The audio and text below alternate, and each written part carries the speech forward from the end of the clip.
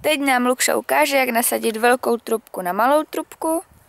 Děláme to z toho důvodu, aby se nám lépe pak připojovala, připojovala kanalizace v domu, právě na kanalizaci, která vede základovou deskou.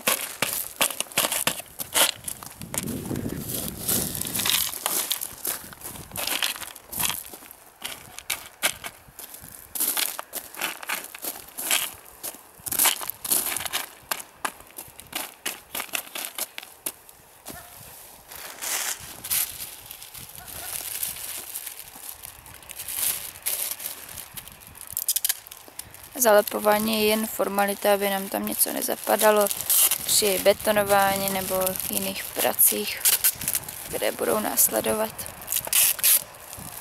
A já jdu už pomoct.